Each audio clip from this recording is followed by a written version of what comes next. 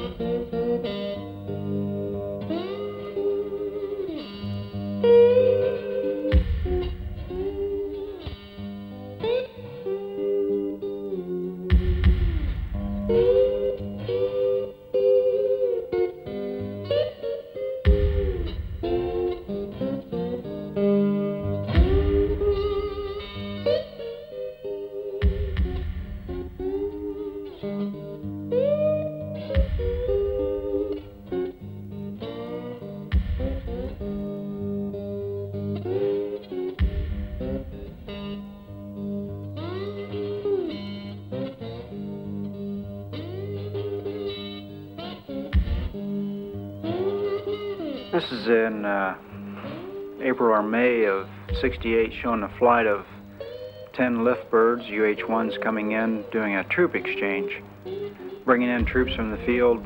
It's been out there for four or five months and replacing them with fresh troops. Making a drop off here, the exchange. Flight of 10, 128th Assault Helicopter Company out of Loai. tired or older troops getting out on the right, new troops hopping in on the left. We're just sitting here, we're flying a gunship then, just a relatively safe area, just waiting for uh, the next liftoff. This is an, art, an uh, artillery strike going in in the Delta. I think we were working with the 9th Infantry then, south of Saigon. See the artillery as it hits the uh, real marshy area and monsoon area.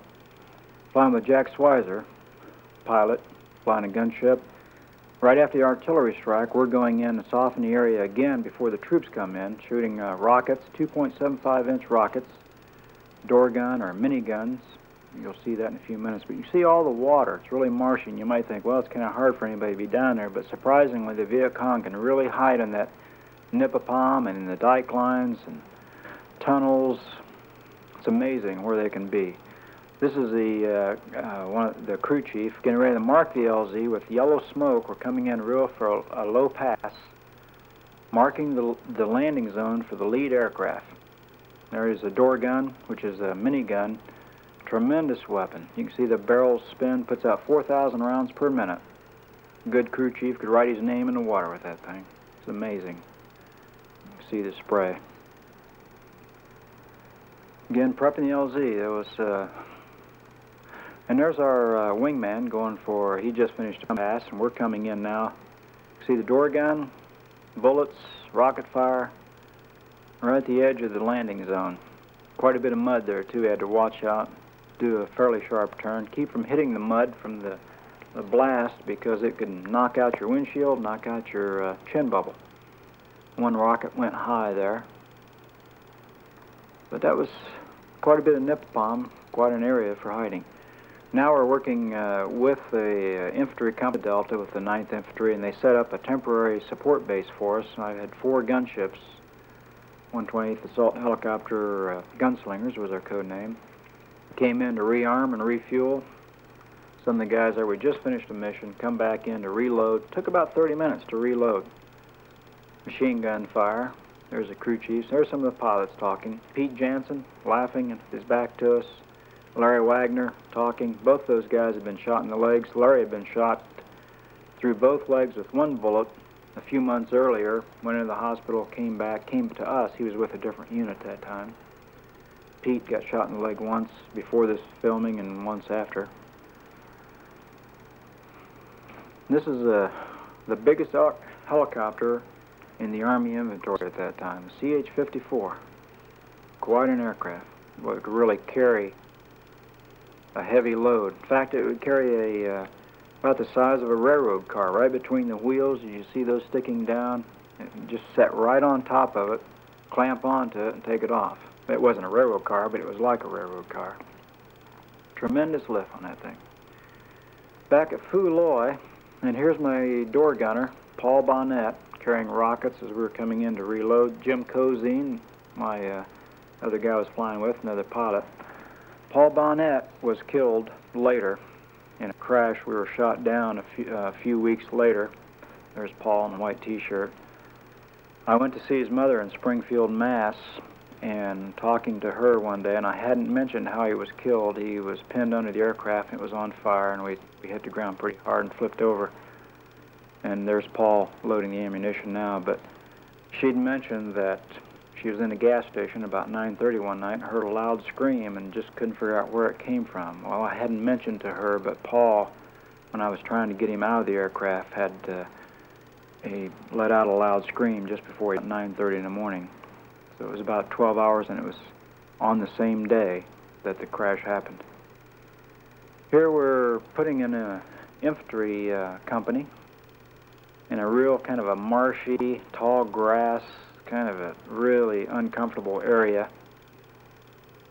Putting in a new infantry battalion in an area, or rather an infantry battalion into a new area that they're going to set up a fire support base. You can see the troops jump out on each side, rush out to the side, get out away from the aircraft so we can get off as quick as we could. Dodge the trees, get formed up again, and head back to the base to get more troops. Here we're doing a little bit of formation flying. did quite a bit of formation flying, actually, at, four, at uh, 1,500 feet, trying to stay out of the small arms range.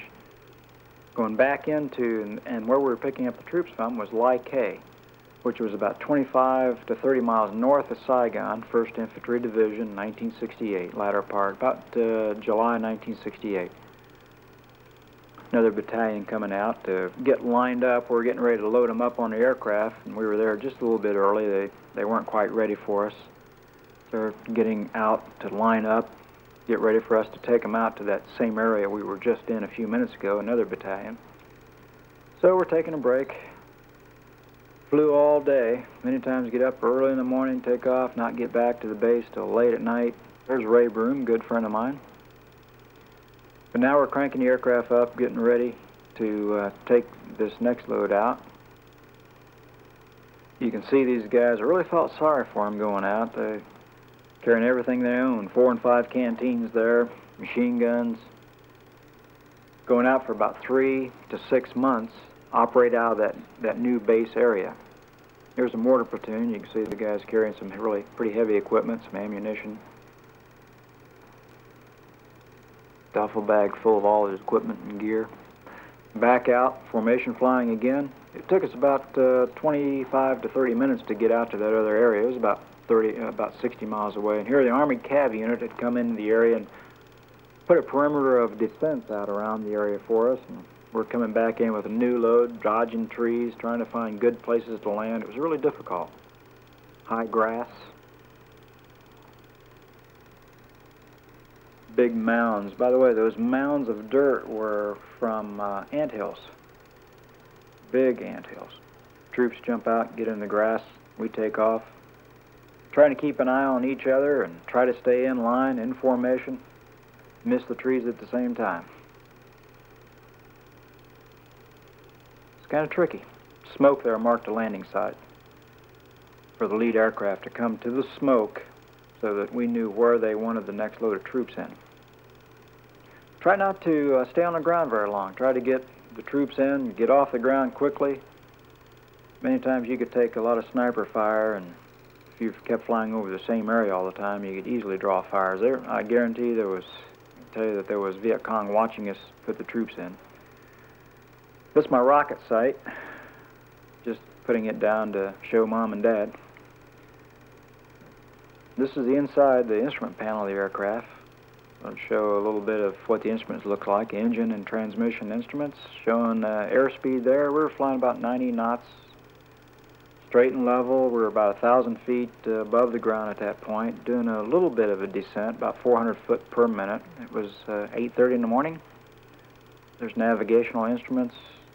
Here we're down south of Saigon. I was working with the uh, SEALs, Navy SEALs, and uh, they were responsible for protecting the Saigon River, the shipping, uh, uh, the cargo ships going in and out of Saigon. You can see some bunkers down there that Viet Cong built right there with some graves. Uh, Viet Cong uh, people had died, and the others, uh, a grave field there for the Viet Cong. Really muddy. Foliage had been defoliated with uh, some agent Here's some bunkers there. You can see the entrance right there, a little square entranceway. And those things were really hard to uh, destroy because they were full of logs and mud on top. This is back at Phu our home base. And this shows a little tower that we had built for our platoon members. And I was the platoon leader of the gunship platoon, and we called ourselves the Gunslingers as a nickname. And this shows our living area. Two and three men to a, to a room. And this shows the area on the inside of our living quarters and bunkers right outside. At night we had to run out and hop in those bunkers and we were taking rocket fire from the Viet Cong out around our perimeter. Some of my fellow gunslingers, Don Juan, Jack Swizer, Joe Hatley, Mark Westfall, Sal Siaka.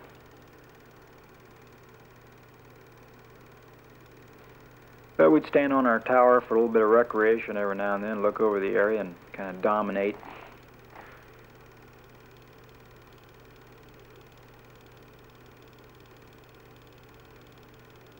There you can see the, the machine gun fire from the door gunner on the right-hand side. Every bullet you see there is actually one in five. So there's four bullets between every red one. A little phosphorus on the on the leading edge of the bullet so that it will light up so you can see where you're shooting. And here we're prepping an LZ, getting ready to insert some troops again. And we'd always go in early before the left platoon came in, before the left uh, or the infantry troops, try to soften the area and and uh, shoot suspected areas where there might be hiding. Let the Viet Cong know we were coming in. Keep their heads down where we brought the troops in. There's the rocket fire. We're going to be putting the troops right in the grassy area, right at the uh, the lead smoke there. A couple of rockets going in. Little river right on the top side of the landing zone. This was again a an area quite a ways away from any any fire support area, or rather from any towns and facilities. Out in the woods, lots of bamboo, there's lots of jungle. Not a very comfortable area to be flying over. They were putting the troops in. You just barely see the lift birds going down now, just just touching down. And I'm making a pass going back to line up again. My uh, wingman is already beside the the lift birds as they're going in. And here we're activating another uh, an abandoned airstrip, and this is between two and three corps. This is about 80 to 100 miles northeast of Saigon. You can see the landing strip there. It's really kind of overgrown they decided to reactivate this area, so we came back in. And the NVA had moved into this area and built some facilities. And here we're, we're going to come in and do a little shooting. And we, we found a few areas, and we're going to put some machine gun fire into them and try to get somebody to shoot at us so we can find out where they are. There's been a lot of artillery strikes going in. You can just barely see a facility right there, a hut that uh, the NVA had built. It was really difficult to see. It was kind of steep and ravines, and it was real tough flying in this area. And getting ready to prep it. Well, we've been doing quite a bit of it. Lots of shooting. Pretty dry. Lots of things caught on fire. Trees.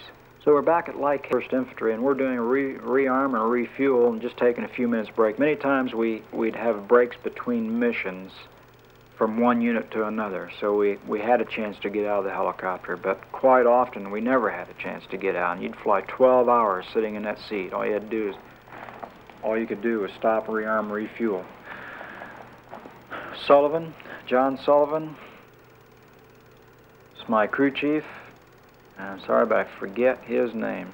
Watson, Ray Broom, some of the pilots standing around joking, relaxing, taking a smoke break. There's my other, I had four gunships that day. There was a Cobra taking off from Lai Khe Not too many at the time in, in uh, 68, early 69. So I'm going to let somebody take a picture of me for mom and dad. Okay, start it. Early morning. To fall asleep sometimes flying. Really did quite a bit. Lots of fatigue. Real tired there. We're going in to, again, prep an LZ. What I say prep, a lot of rocket fire, machine gun fire down to to clear an area, soften it up, get the Viet Cong away from the landing zone, get them in the ground and hide and under cover so that we can get the troops in right away and they can get a foothold in without getting shot at or receiving too much fire. Now here it was really dry. This was a dry season. Everything caught fire. Grass, trees. It's kind of hard not to start fires. There's the lift birds going in. One blade was painted white so you could see them below you. Otherwise, sometimes it's pretty hard to see. A lot of mid-air collisions, unfortunately. Lots of dust here. The troops, when they got on the ground, they kind of had to crawl away from the fire right south of Saigon here, and uh, this is a kind of a marshy area. Infantry unit had called us in to give them some gun cover, gunship cover, and they were in contact with some Viet Cong. As soon as we got there, why, uh, we found two guys just jumping out of the weeds, and my door gunner, first round, got this one, and his partner, we uh, we shot a little bit later. Back in, rearm, refuel. It's a lot of work. Do this all day long. Sweat, hot, tired.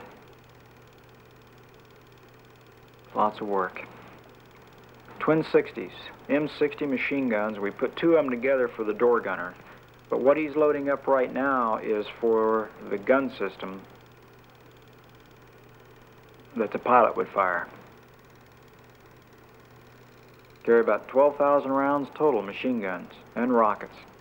Little little piece of wood here on the side. Knock yourself out. Knock on wood for luck. So I'm just hamming it up a little bit.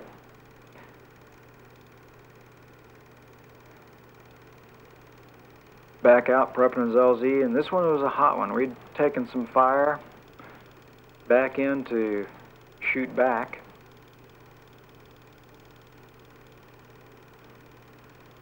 Trying to get a few rounds in between the trees. We carried different systems on the aircraft. One aircraft might have 14 rockets, another eight. Lots of machine gun fire. Sometimes we had uh, two of our birds had grenade launchers in the nose.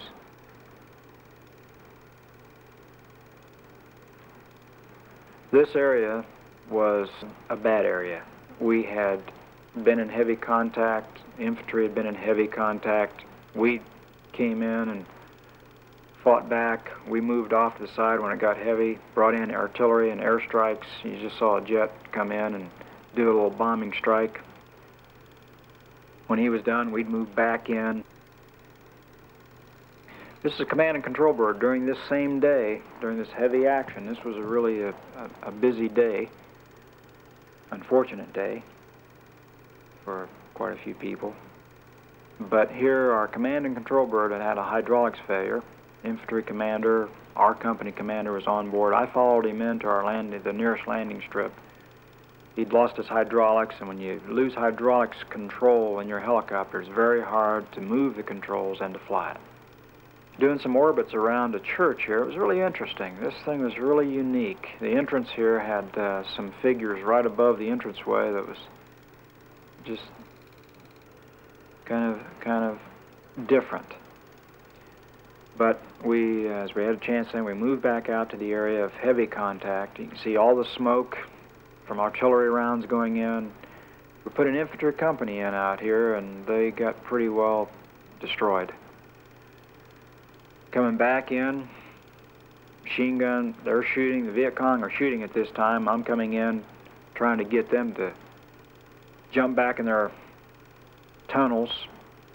And you can see right off on the right side where that pair of rockets went was a machine gun nest. Infantry company right there on the ground. 60 man company in, 35 of them as soon as we left were killed by four machine gun nests. Viet Cong ran a charge. You can see three uh, Viet Cong on top of the company commander, sergeant, uh, first sergeant, several other troops so 60 men in, 35 were killed right away. The others kept inching their way back as we were making passes, trying to get back to safety. I had my door gunner take these pictures, by the way. I didn't even see them the first time in.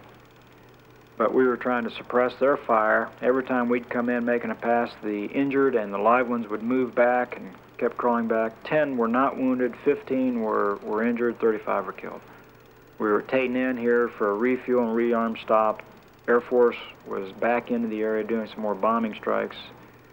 We were trying to take lunch, but we really didn't feel like eating. Wagner, a friend of mine, just throwing his lunch away.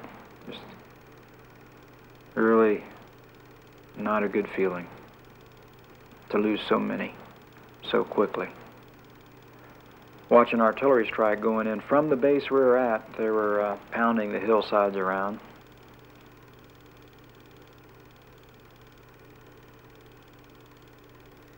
See the smoke coming up.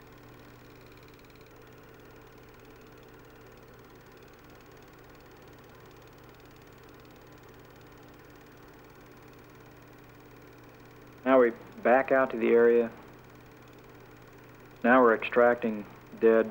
We're back out to cover people on the ground to do the picking up of the bodies and recovering people. There you can see one of the, the machine gun nests, a few things they dug out from there, one that we had hit earlier. Right at the edge of the tree line. I'd talked to the company commander while we were out there before, just before it happened, because we put them in, covered them going into it. I, we had taken sniper fire from the trees areas in the back, and I told them to be careful. It looked kind of nasty there. And we hadn't been gone too long, and as soon as we left, the Viet Cong jumped up out of their tunnels and really cut them down. Back at Phu Loi, our home base, you can see the revetment areas where we parked the aircraft and a hangar in the background. Usually weren't back there for very long. Get ready to go out again. Everybody's cranking their engines. Usually went out with a flight of 10. There's a lift bird or slick, we called them. They had door guns, and the reason we called them slicks was because the we carried guns, machine guns, and rockets, whereas the lift birds were just had the door gunners and the door guns for uh, suppressive fire, mainly to carry troops, whereas we were to carry the machine guns and rockets, grenade launchers to provide cover and gunship uh, support to protect those lift birds. You see the flight of 10 cranking up. And there's some that that are winding down. Others are taking off. Some are just come in to break. There's a revetment areas where uh, provided protection for the aircraft whenever rocket fire came in at night and exploded. It gave some protection. Here we're uh, over near Cu Chi in monsoon season, working with the CAV uh, unit. They just had just told me on the radio to get out from behind them because they were going to start shooting into this uh, lots of nipa palm and treed area. It was a uh, Viet Cong headquarters had been located there, and they were going in to, uh, to destroy it. Troops are hard to see, clumps of four and five waiting for pickup, and we're covering them. We're, we're there early before the troop birds get there, lift birds, and we're just providing a little gun cover, a little, little protection. Back in again, rearm, refuel. We used to fly 10 to 12 hours a day. There's crew chief, good man. This was the second time back to Vietnam, and he'd come right back to the same company he was in before. Zoe Watson, good friend. But the crew chief I was just talking about, and I don't remember his name, had been in this same company a year before and was involved uh, in a crash. Actually, they had got shot, and down, shot down, and the uh, he jumped out ran up to the front part, pulled out one of the pilots to help him get out who was injured. They were taking uh, fire from a tree line, and the bullet came in and through the trees hit the pilot he was holding in his arms, carrying him out, hit him in the chest, and uh, man died in his arms. But he came back to Vietnam, and he was a good crew chief, good man to have. Good to have the experience. And the ham here getting in, getting ready to crank up for our next mission. Strapping in. Flying in fatigues. There's a hole in the shirt. Fatigue shirt showing up. There's an old timer there. I've been there 11 months, had one more month to go. I was just about ready to come home at this time.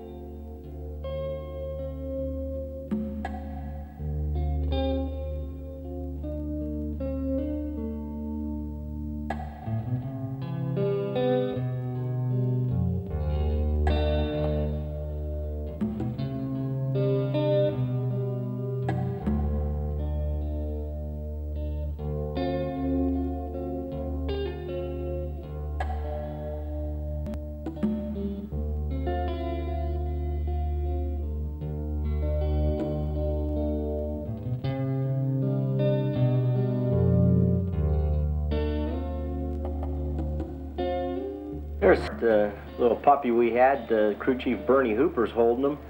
Bernie later went on to become uh, General John J. Tolson's crew chief. He was the commanding general of the 1st Air Cav. We took our puppies with us flying quite often. And we're coming over the ridge into the uh, An Lao Valley. It was really a bad place when I first got there in uh, April of 67. They weren't even leaving uh, ground troops in there at night. I pulled them out. Uh, we're just on a routine extraction on this particular morning. Notice the lying uh, fog and clouds at the bottom of the valley. And there's uh, Titty Mountain uh, right there by the bend of the An Lao River. We're coming into the uh, area which once was the An Lao Village has now all been uh, cleaned out. There aren't any buildings left. There's the red smoke and it's a cold extraction right now. It's evident because we're using uh, CH-47 Chinooks, which would pose a big target, pulling out a company size element.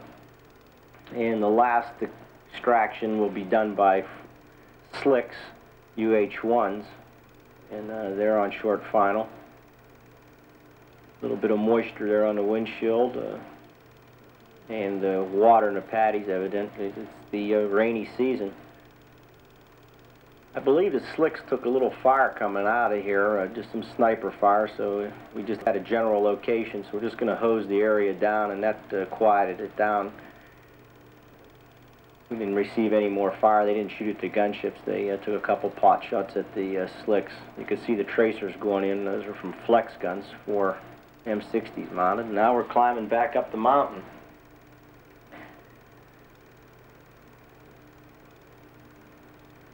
And once we reach the top, we'll look down at the uh, Bong Son Plain, which is a beautiful area. It was one of the uh, heaviest producers of rice in the two-core area of Vietnam. And just about the top, we're at about uh, 23 to 2,500 feet there, and we'll just stay low level down to the other side. And here we are in short final to LZ English Point in the south. I lived at English for about on and off for about seven months. And we're coming into POL point where the gunships refueled. Uh, the slicks refueled uh, the area right to our front there. We're about 12 points there, and the gunships rearmed and refueled on this road. I was flying wingman to this uh, ship in front of me this particular day.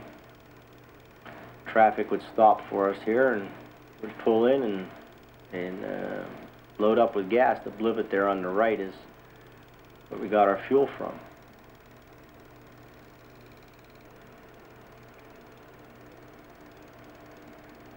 Tight shot of the engine. Uh, here we are in a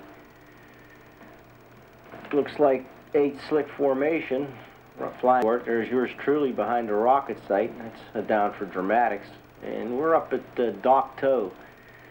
First their cav went up with the 1st and 12th Infantry Bravo 229th Killer Spade Slicks and 2nd Platoon of Delta 229th Guns. If you watch to the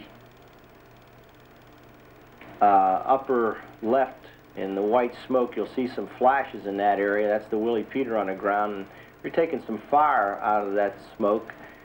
And uh, we put the rockets back on if you watch for the flashes. Uh, the white smoke is indicate there's one flash that the artillery shut off. There's the second flash. Now watch where my rockets go. That is the muzzle. That are muzzle flashes uh, are coming up at us. That's what they look like, just like somebody uh, taking your picture with a camera. And we hose the area down pretty good, and that quieted the fire down. The slicks are off to our right.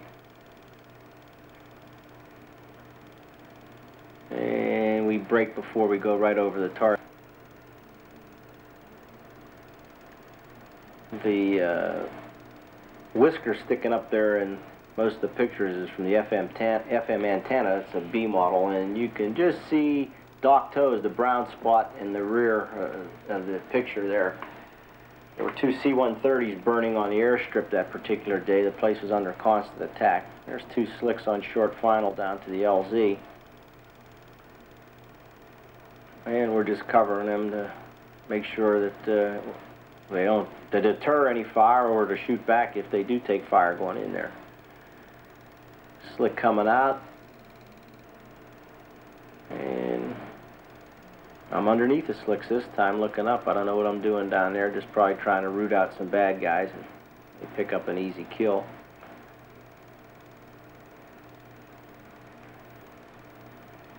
The craters on the uh, LZ there from artillery.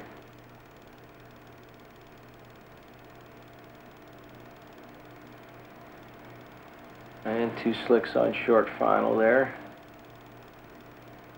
Uh, there's looks like three. Still some smoke. Got some artillery still going in at the top of the hill. Keep uh, heads down up there if there's anybody left in there, which I'm sure there are. More slicks at the bottom of the picture. Is an LZ we called the garage because the uh, slicks had to pull in nose first and then back out. Those trees are 100 feet tall and I really got a hand to the slick drivers. They, I, they had to land everywhere, and I was fortunate enough in a gunship where I only had to land and take off from secure areas unless there was an emergency. They couldn't set down in an LZ like that because of all the debris. Here we are in 668, the good B model called the bra strap, uh, because it had so much give in it. Every, uh, it seemed like every week or so, it needed everything on it tightened up, but it had plenty of power and the four flex guns, and it never let us down. Here's a uh, minigun ship. It had seven rockets on each side, total of 14, and then the minigun, which is capable of 4,000 rounds a minute per gun, which stepped down, and we fired them at 2,000 per gun. And uh, we fired our rockets to one punch at a time and gave us 14 punches instead of shooting at pairs and getting seven. There's our uh, company insignia, Smiling Tiger, and it was designed uh, by Walt Disney. Comes Mike Tarsi, uh, crew chief and door gunner extraordinaire, one of the best guys I ever met over there, was from Boston. Was there a long time before I got there. And we're coming up through the uh, Bong Son Pass the town of Bong Son. This little pagoda was a nice landmark to go by every every day. It was uh, in good shape when I got there, in good shape when I left seven months later, and uh, it was always something nice to go by and, and see. Reminder of a little sanity in the war. And there's a river coming up on the town of Bong Son. We used to sink quite a few boats on that river at night. My, my uh, company had the uh, night mission of the first air cav. So we flew day and night and we're coming up, this is Highway 1, the main highway of the country, and uh, runs from north to south. It's just a dirt road. You could see how lush it was in that area when there was plenty of rain. It was uh, really beautiful at Bong Son. And uh, you can tell that the, the ride in the B model isn't that smooth, but it beat walking. Off to our left would be uh, LZ Two Bits, which you can't see and we were coming up on English. And here we are in some pretty big mountains. Looks like we're up in the Song Re Valley here. This is uh, in the I. We crossed uh, into the I-Corps border. We're on an assault here and uh, shooting it up, and then uh, the picture stops abruptly because we took some fire. And here's a ship uh, took the 50 hit, came up between the uh, aircraft commander's pedals between his legs, went through the co-pilot's armor seat, and then it hit the door gunner in the head, and, it, and he sort of fell out on the pylon there and bled on the airplane. And then the aircraft took one more hit in the uh, tail as he made his break. And this is Ba To Special Forces Camp. I guess it's that same day, and, and just look at the kids looking, they're waiting around for a handout. Song Re again, there's the slicks up going through a rain shower. Looks like we have six of them, and we're uh, tagging along, waiting for somebody to shoot at them, and so we could uh, roll in and and put the wazoo on them, as we used to say. But in the Song Re, we got the wazoo put on us, I think, more than we put it on them. It was in August 67. There's Mike Tarsi again. Hi, Mike. Another door, it's the door gunner on the other side. Can't remember his name. He was flying with that particular day. And there's my main man, the chief, uh, Lynn Freeman.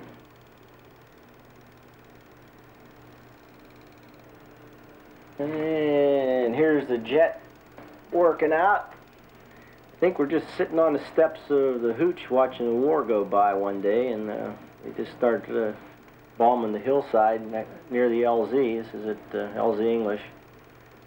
Uh, to the right of that smoke would be LZ Laramie.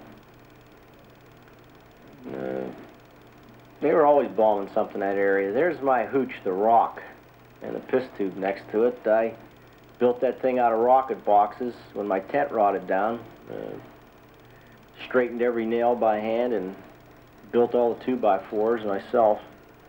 That was the company street. And here we are south of Vaughn K, working in a recon one day and uh, found some hooches and bunkers. And the Air Force uh, FAC asked us to put an airstrike on it. We said, sure, go ahead.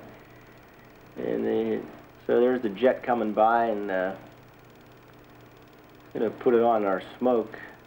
And they were real good for blowing away the jungle so we could get in there and, and see uh, exactly what's down in there. There's a nice flash.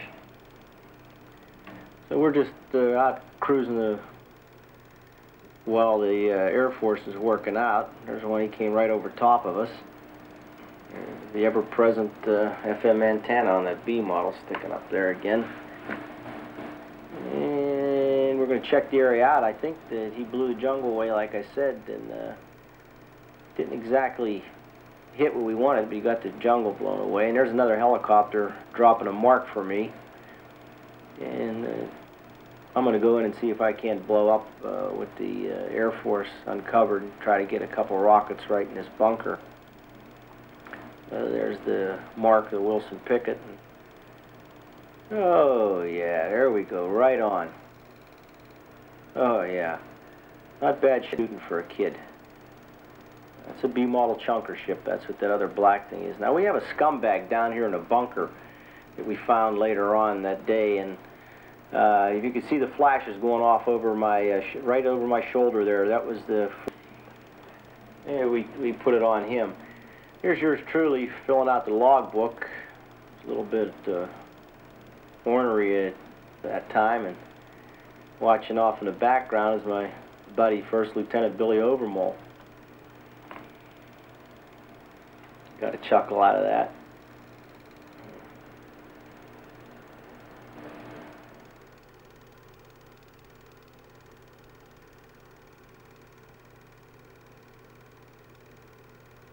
There's uh, the front of that 40 millimeter ship we called the Chunker. It was uh, named its Bilbo Bag and sword, and we were taking off down that road, uh, taking off to the south of English. This will give you some indication on how rough ride uh, riding a B model Huey is. Uh, they weren't very fast. They could only get up to maybe 75 knots at cruise. Uh, I think the fastest I ever had one uh, was about 96 knots in a dive, and uh, I don't think that the speed was the main uh, concern in 1967 and 68. It was who could get to the target with the most ammunition, and that B model would bring it. And you could stay and loiter uh, longer than Charlie models because they usually had to cut down on fuel or ammunition where the B model could uh, fly fully loaded. It didn't fly fast, but it would get you there. It, it had plenty of power to pick up its load. And that was an extraction there at, uh, over by VC Village. And here we are above the cloud layer. I believe we're going to make an air assault into the An Lao Valley through a cloud layer in formation.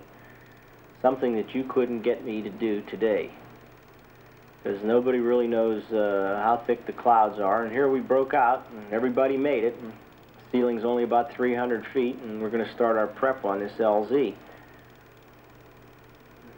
Probably about 8 to 12 ships that came down through that. There's the Willie Pete uh, from the uh, artillery. It means the artillery is shut off, and here comes my rockets. There's another one. Okay. Now, shut the camera off there while we were covering the slicks, and now we're working our way back out of the An Lao, right past the same area we opened up with the extraction. And you can tell that we did like to fly low level, especially the guns. Uh, that way you could have an opportunity to uh, catch somebody in the open and uh, put it on them.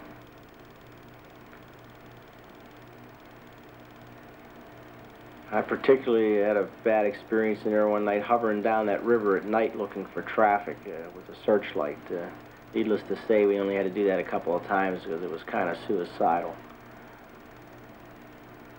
This was all village, there's nothing left standing. Um, when the Cav left uh, two corps, this area it looked like it was nuked. It was completely defoliated. The whole valley was brown.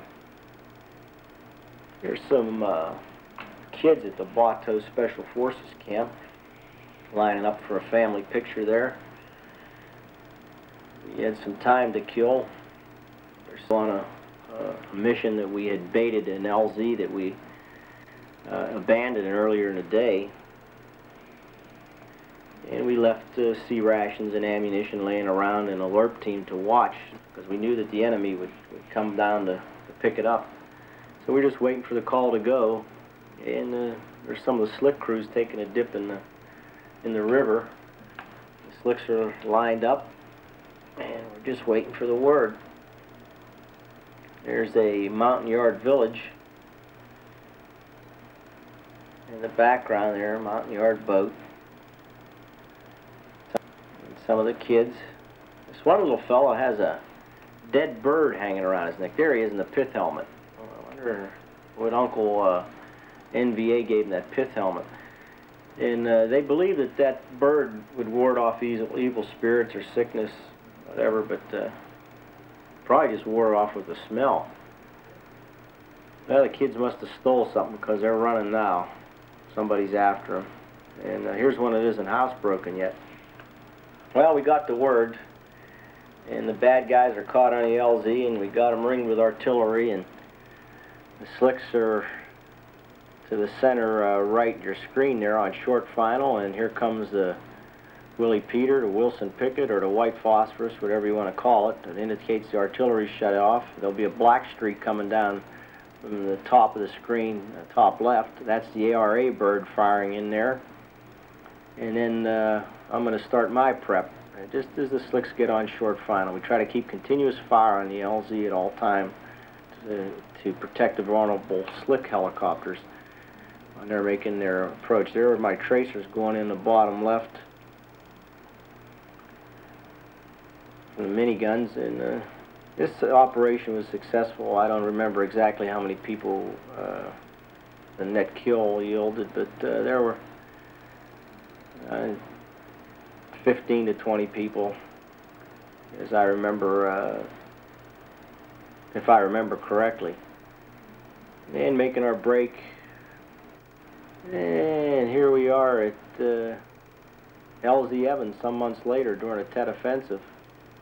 That was Carl Crow uh, giving us the sign there.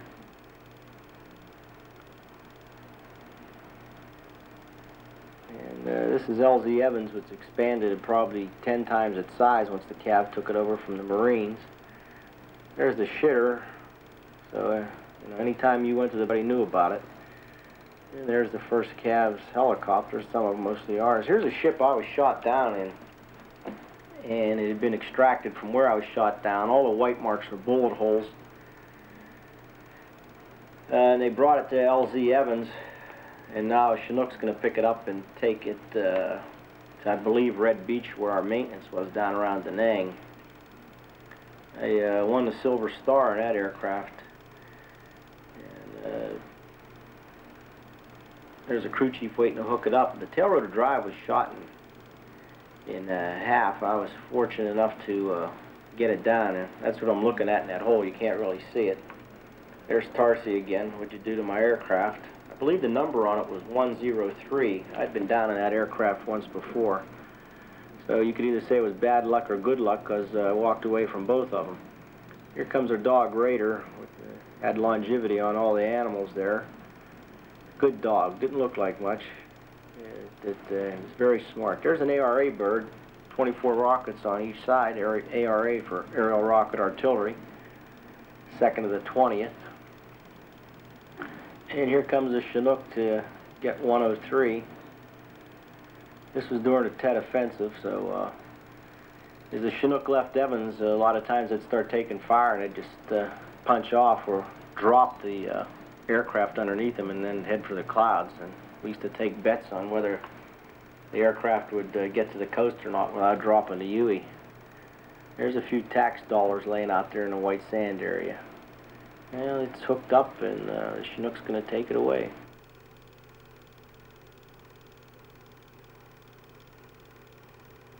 There's uh, Ronald Schrank, myself, and uh, Melvin Utley, my platoon leader.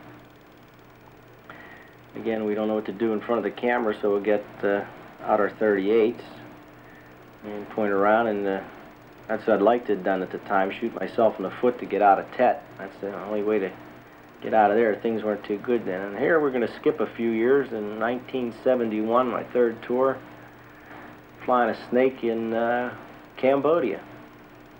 Guy in the front seat's taking the pictures.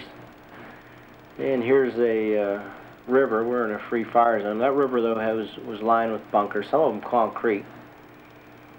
Uh, putting the zoom in on a camera, when he pulls back with the zoom, you'll notice two red or orange dye markers very quickly.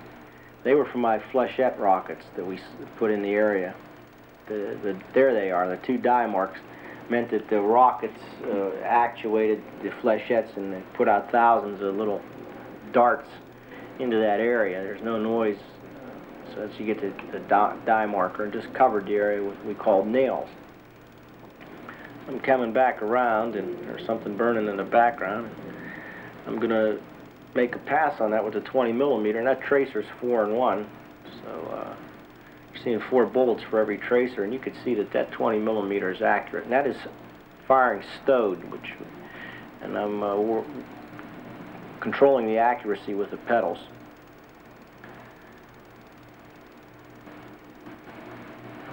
Same area. Here's a, a town in Cambodia. It was a free fire zone. All the population was gone. The only people down there were bad guys. And uh, so on the way home, would uh, if we had a load and coming back in, would uh, dump on this place. Get Chuck stirred up a little bit. Where most of the people we fought in Cambodia were NVA. And you can see a Cobra can get into a pretty tight turn, pretty steep. And here we're going to really whoop it on them this time. Oh, yeah.